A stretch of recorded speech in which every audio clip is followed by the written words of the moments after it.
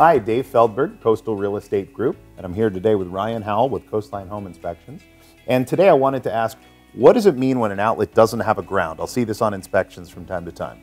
If an outlet doesn't have a ground, it means that it's missing the connection to the ground, literally.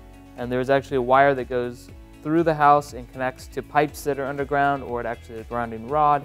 And the whole reason is to prevent um, electrocution and kind of direct that electricity to the ground where it can be safely discharged. So what happens, so what if an older house doesn't have a ground in the outlet? Well, the, the way grounds work in modern outlets is it's actually a, a safety backup. So when you'll see uh, a typical plug, you'll have a left side and a right side.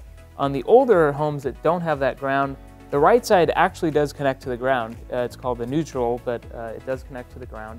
And why they added that third prong is a safety failover. So just in case somewhere along the line, if one of those wires got cut, um, it would fail safe and, and, go to that to the safety ground, um, which would, then direct the electricity appropriately. So if I'm not using a three-prong plug, it's basically the same thing. It is basically the same thing. It's it's still going to conduct uh, electricity to the ground on that that second prong.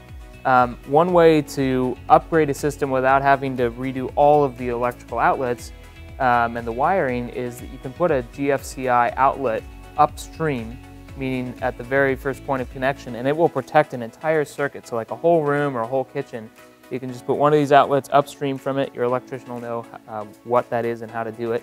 Um, but basically, it's, um, it's a pretty simple procedure you can do to actually kind of create that, um, that protection on, with a, a, different method.